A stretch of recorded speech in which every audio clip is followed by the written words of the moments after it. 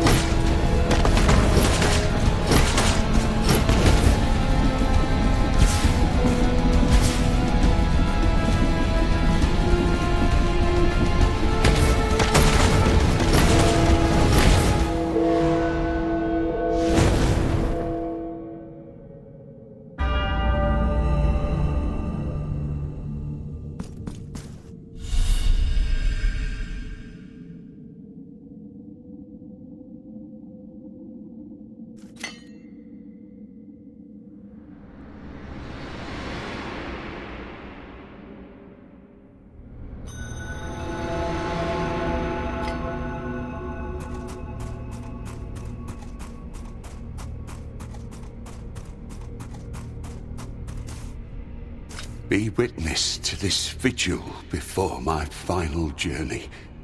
My body has been returned to me at last. I am now master of this flesh, of this trembling, of this agony. How sweet the pain when it is our own. Penitent one,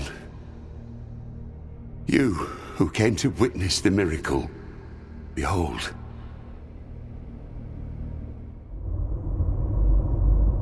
but the miracle, who bestows and wrests away its grace with inscrutable agency, saw its will tarnished in its prolonged absence. Erring in its newly created work, it conferred on that child as much its own as that of another. The blessing of deformity.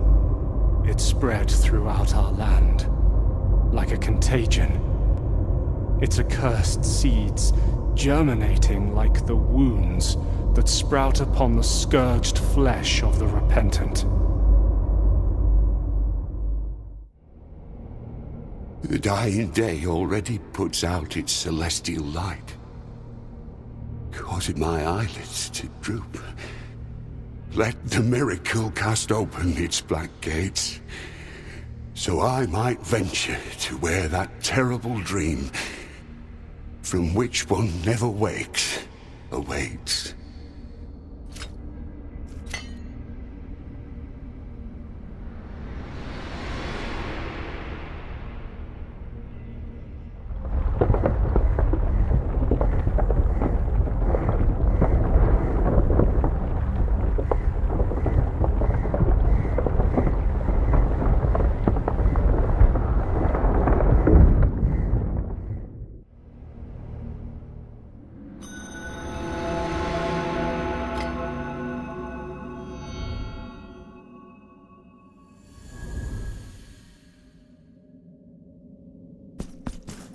The full testimony has been revealed to you, and the counterfigure of the witness has at last descended.